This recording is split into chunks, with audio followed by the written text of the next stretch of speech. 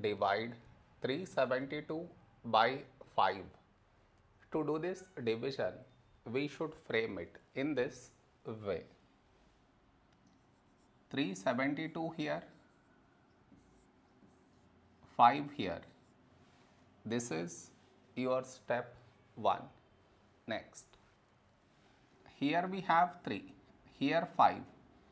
3 smaller than 5.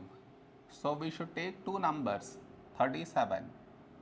A number close to 37 in 5 table is 5 sevens 35. Now we should subtract, we get 2.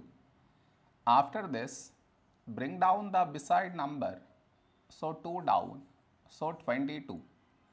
A number close to 22 in 5 table is 5 fours 20.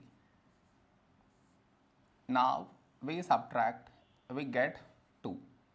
After this, no more numbers to bring it down. So what we do is we put dot take 0. So 20. When do we get 20? In 5 table. 5 fours 20.